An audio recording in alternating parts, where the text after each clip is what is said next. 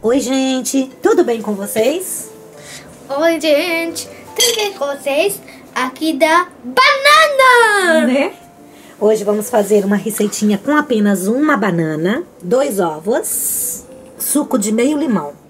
Gente, é super simples, super rápida e por favor, se vocês ainda não é inscrito nesse canal, Esquerda, ativa o sininho para receber as notificações e deixa um like nesse vídeo. Bora lá, filho? Bom, vamos colocar a banana, o limão e os ovos. E vamos bater por um minuto.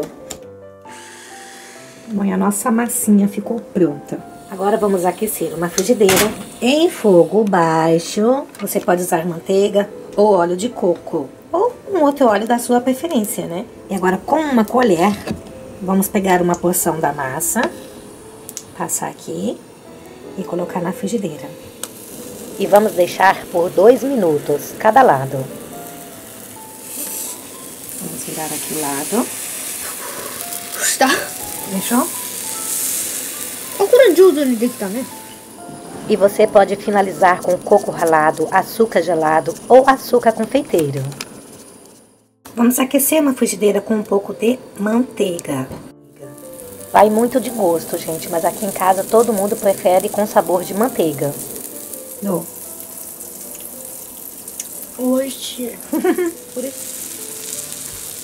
você pode fazer maior também, né? No lugar de fazer vários pequenos, fazer o maior. Você coloca a tampa, tá? Fogo mais baixo possível, não vai mais. E deixa aqui por 7 minutinhos. Depois de 7 minutos, é só virar o lado e deixar por mais 2 a 3 minutinhos.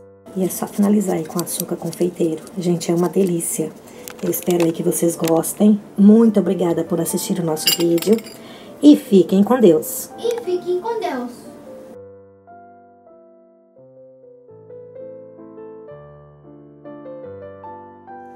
Açúcar, que do 美